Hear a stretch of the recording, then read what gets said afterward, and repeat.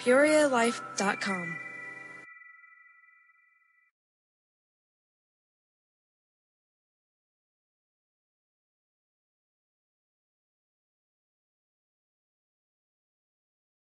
of doing these things live or drawbacks of doing this live is technical issues. And so, um, apologize for crashing there, but uh, we're back and uh, want to continue this conversation with Impact Peoria. So, um, if you're just picking this up now, uh, we're talking with uh, Impact Central Illinois, and uh, we're talking with Laurie Weaver and Erin Selvey. Uh, uh, again, Impact Central Illinois. Um, so we were talking. Um, what are the events that you might have coming up? Okay, so coming up, we have, well, I'll let Erin talk specifically about the next one. Great. in So October. the next really important event that we have is our nonprofit information session, which is on October 22nd at the Community Foundation of Central Illinois, which is at the corner of War Memorial and Sheridan at 6 p.m. We're asking all the nonprofits that are interested in learning more about our grant to attend that night so that we can talk about uh, organization guidelines, what we will and will not fund, um, the timeline of our grant, um, just kind of get the word out there and, and get interested folks up to speed on who we are and what we're what we're doing. And they'll be able to get all of their questions answered. Um, It is great to start on our website so that you have a general idea. If you go to impactcentralillinois.org, you can get some great information. But then on October 22nd at 6 PM at the Community Foundation, you can get specifics and um, ask real people your questions. Um, The other thing that we had shared with Tim is that um, our members, we hope to um, also be able to equip them to become better philanthropists. And we really believe that to become a better philanthropist, we all have to know and understand the needs in our community. And so in January, on January 8th at the Holt Center at 7 p.m., we will host a um, what we call our town hall, which is for members, but they're allowed to bring guests, and anybody from the general public that was curious is, is welcome to step to stop in. Um, but we will have a professional from each of the three categories that we're going to look at funding. So a professional in the area of education, health and well-being, and family and social service.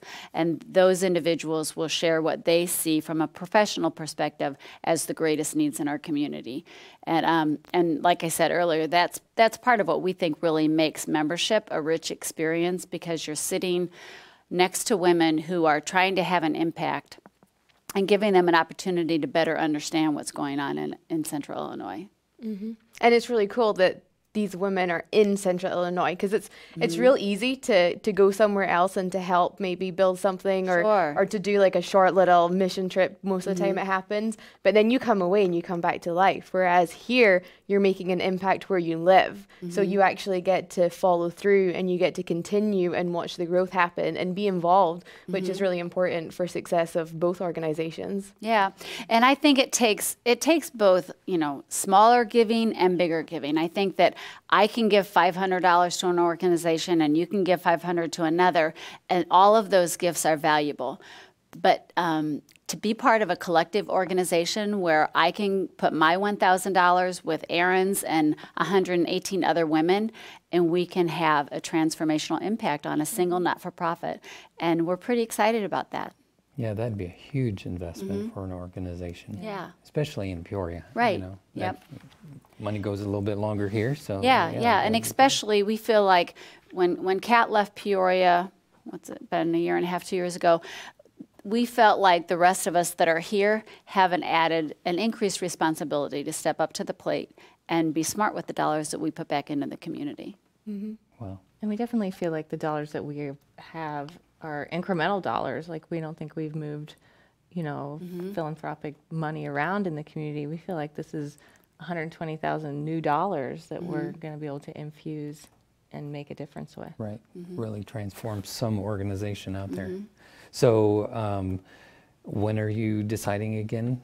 So our annual meeting is um, June 9th of 2020, and that's when the the members of Impact Central Illinois will get together, and we will all vote on one on the top three candidates in each of those three categories, and um, we will award a check that night, and it'll we'll celebrate. It'll be Yeah.